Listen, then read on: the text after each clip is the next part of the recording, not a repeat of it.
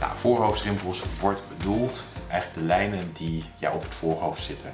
Maar niet de rimpels die hier zijn. Dat, wordt, dat zijn echte frontsrimpels. Ja, de voorhoofdrimpels kunnen heel goed behandeld worden met azalure of en met een filler. Ja, er is meestal is gewoon één behandeling nodig om een goed resultaat te krijgen.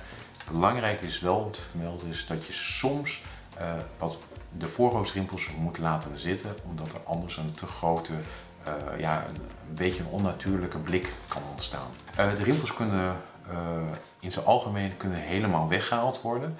Maar je moet wel rekening mee houden dus dat bijvoorbeeld met de botox dat een effect kan hebben op de stand van de wenkbrauwen. En dat is iets wat je niet wil. Ja, de tevredenheid van de patiënt is uitstekend.